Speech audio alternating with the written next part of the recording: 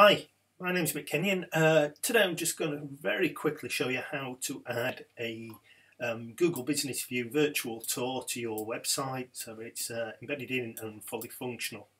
Okay, so first thing you need to do is um, search in Google. Uh, you can search for Chrome extension and Business View. Okay, once you've done that, um, there's one there called Fotofoto Embedded. That's fine. That'll do well for me.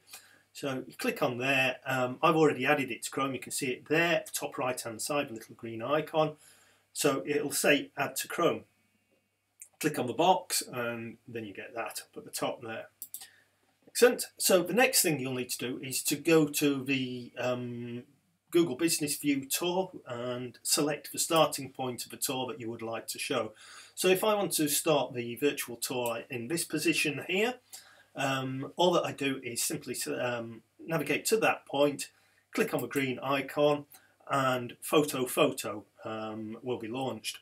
And then there's uh, four tabs along the bottom, third one along is called Embed, select the embed and then select the screen size that you want it to be. Um, for um, obviously it depends whether you're doing a mobile site or a desktop site, but 853 480 that's pretty good size for me.